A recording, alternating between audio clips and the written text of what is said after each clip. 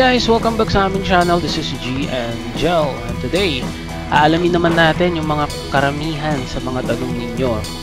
This is about po sa Android version ng NBA 2K21 na kamakailan is nag-release na yung iOS version nito.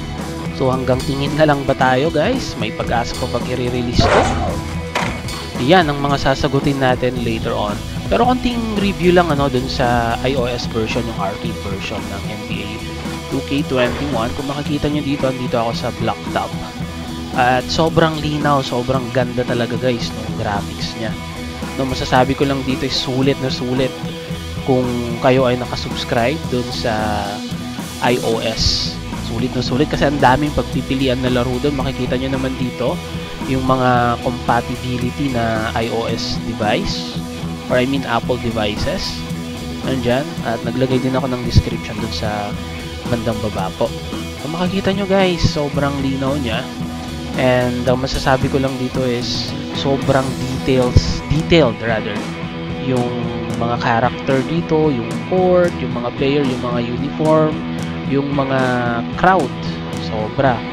O dito mapapansin natin na parang PS4 na rin yung datingan nito pero yun lang, ano, may mga disadvantage kung medyo mababa yung device na ginagamit mo. Kung compare natin yung 2K20 and 2K21, sobrang layo na nung difference nila.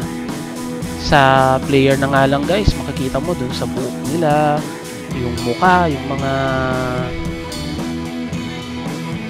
ano ano tawag doon yung mga bigote sa mukha yan mga buhok sa mukha kaya pasensya na kayo hindi ko masyado ma-explain pero sobrang layo guys ng difference. So sobrang swerte ng mga iOS uh, user natin. Since nasubukan ko rin to ito habang nilalaro ko, nilalaro ko yung mga game kanina sobrang satisfy ako guys. Uh, dahil sa graphics no? Yun nga lang medyo naglalag. Especially kung nililipat ko yung setting niya sa high mode. Kasi may mga instances dun na hanggang medium lang ako eh at uh, na-try ko rin siya sa Apple TV yung 4K na setup. So ito ipapakita ko sa inyo. Ayan. Pwede siyang high pero yun nga lang naglalag kung medyo mababa yung uh, processor ng device na ginagamit mo. So eto naka medium lang ako sa mga player pero okay na rin yan pwede nang pagtsagaan at grabe uh, sobrang sulit sobrang sulit talaga pag dinownload mo to yan ito pa ako natutuwa yung kay Harden. Kasi 99 na yung overall na niya uh, stats sorry. And of course si Lebron James. Tsaka si Luka Doncic 99 yung nakita ko kanina. Grabe sobrang sarap laruin nito.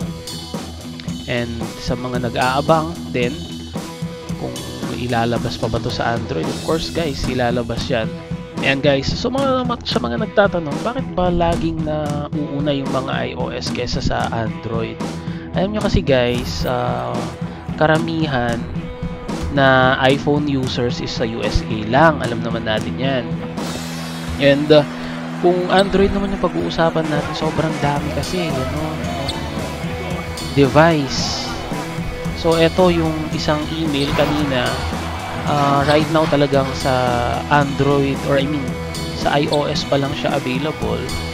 At syempre mas konti sila sa iOS so don't get me wrong ano, pero yun yung katotohanan. Mas madami talaga yung mga uh, Android user at iba-ibang ano yan manufacturer ng Android devices. Kaya uh, yung optimization ng game natatagalan dahil gusto nilang maging compatible yon sa lahat ng mga Android users. users. Siyempre, uh, it's a business pa rin. Kung makikita nyo dito, ito yung na-receive kong email kanina.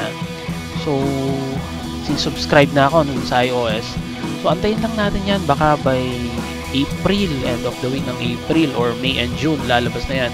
Basta sa playoff season ng NBA or before mag-finals lalabas yan. Yun yung guaranteed guys. So abangan lang natin, don't worry.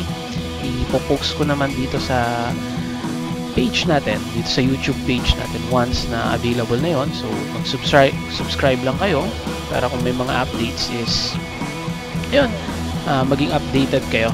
Especially ah, sa mga Android users dyan. Of course, alam naman natin na kapag Android sobrang open so kaya lang nilang i-hack yung game.